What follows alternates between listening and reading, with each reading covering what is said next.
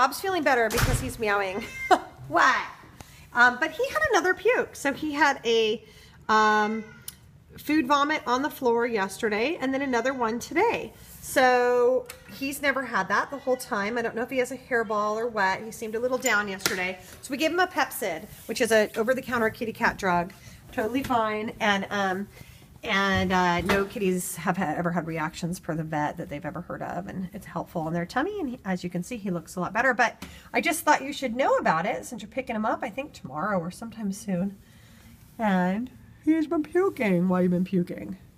Why?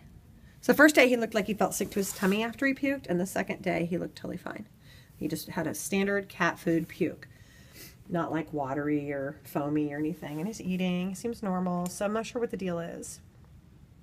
I did notice one of his mice didn't, was it you that had a mouse with no tail?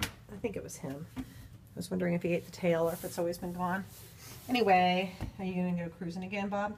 So I just wanna make sure you got this so that when you pick him up, it's no surprise that he had his last couple days had two vomits, all right?